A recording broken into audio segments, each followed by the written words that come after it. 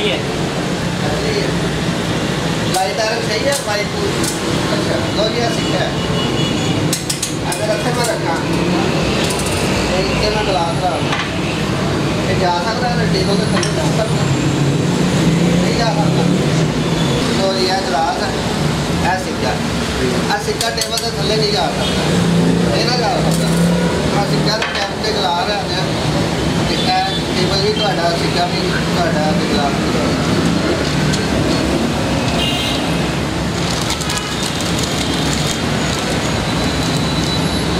ਇਹਨੂੰ ਫੇਰ ਇੱਕ ਵਾਰੀ ਚੈੱਕ ਕਰ